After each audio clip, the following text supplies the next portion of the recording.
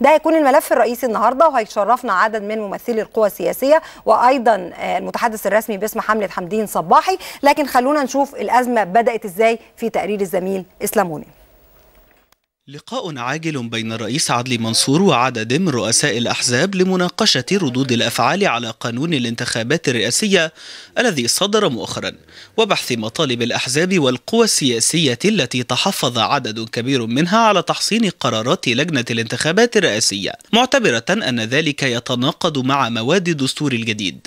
وبالرغم من أن مجلس الدولة قد أصدر توصياته بعدم تحصين قرارات اللجنة العليا للانتخابات واقترح تحديد مدة معينة للتقدم بالطعون والفصل فيها إلا أن مستشار الرئيس للشؤون القانونية أشار إلى أن التحصين صدر بعد موافقة من مجلس الوزراء وتماشيا مع ما تمر به البلاد من ظروف استثنائية.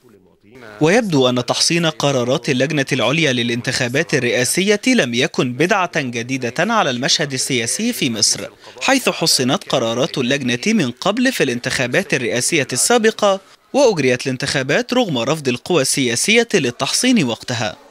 ويرى محللون أن تضارب الرؤى وغياب التنسيق والقرارات أحادية الجانب كانت العامل الأقوى في إثارة حالة السخط من جانب القوى والأحزاب السياسية. فيما يرى مراقبون أن المشهد الحالي قد يلقي بظلاله على ثقة المواطن في الاستحقاقات الانتخابية المقبلة بما قد يفرض تداعياته على تنفيذ خارطة الطريق. إسلام غنيم قناة دريم.